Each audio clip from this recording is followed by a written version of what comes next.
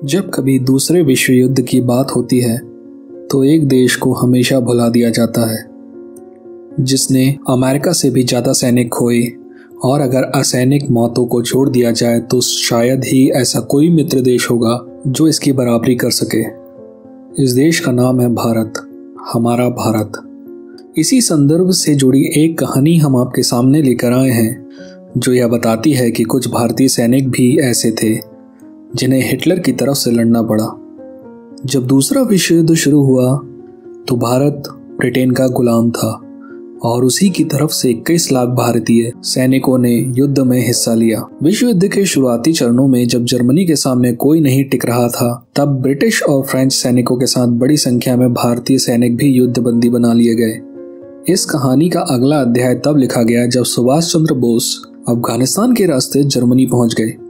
ऐसा उन्होंने दुश्मन का दुश्मन दोस्त होता है के सिद्धांत पर किया। इसके अलावा और कोई वजह नहीं हो सकती थी। ना तो उनकी सोच हिटलर से मिलती थी, ना ही भारत और जर्मनी के लक्ष्य एक थे। उन्होंने जर्मनी के विदेश मंत्री रिबेंट्रॉप हिमलर एवं खुद हिटलर से मुलाकात की। इसके बाद उन्हें फ्री इंडिया रेडियो स्टेशन चलाने की अनुमति मिल गई। लगभग इसी समय डेजर्ट फॉक्स के नाम से मशहूर अरविंद रॉमल के सामने मध्य पूर्व में बड़ी संख्या में ब्रिटिश सैनिकों ने आत्मसमर्पण किया। इनमें बड़ी संख्या भारतीयों की थी। इन्हीं में से लगभग दस हज़ार भारतीय सैनिकों को जर्मनी ट्रेनिंग के लिए भेज दिया गया। वहाँ 1942 में इंडियन नेशनल आर्मी बनाने की घोषणा कर दी गई।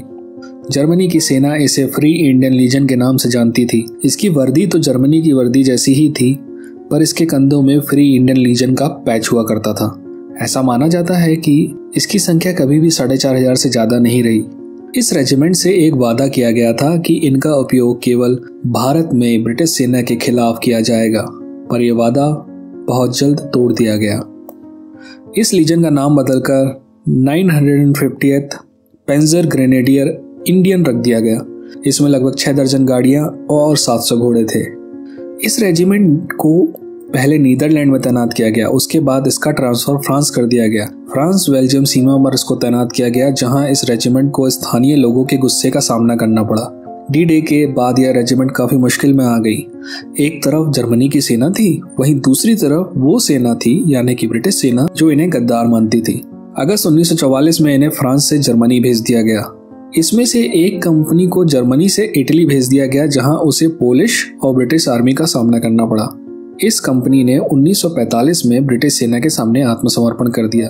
पर अभी भी इस रेजिमेंट के बचे कुछ सैनिक जर्मनी में मौजूद थे। अब उन्होंने इस सब मुश्किल से बच निकलने के रास्ते खोजने शुरू किए और सभी रास्ते स्विट्जरलैंड की तरफ़ जाते थे। पर स्विट्जरलैंड के सैनिकों ने उन्हें अंदर नहीं आने दिया। ऐसा माना जाता है कि इनमें से ज़्यादातर सैनिकों को फ्रेंच मोरक्कन आर्मी और अमेरिकन आर्मी के सामने आत्मसमर्पण करना पड़ा, जिन्होंने इसे ब्रिटिश आर्मी को सौंप दिया गया। ब्रिटिश आर्मी ने इन्हें वहाँ से हिंदुस्तान भेज दिया, जहाँ आज़ाद हिंद सेना के सैनिकों के साथ इन पर मुकदमा चलाया गया। उम्मीद है आपको यह वीडियो पसंद आया होगा।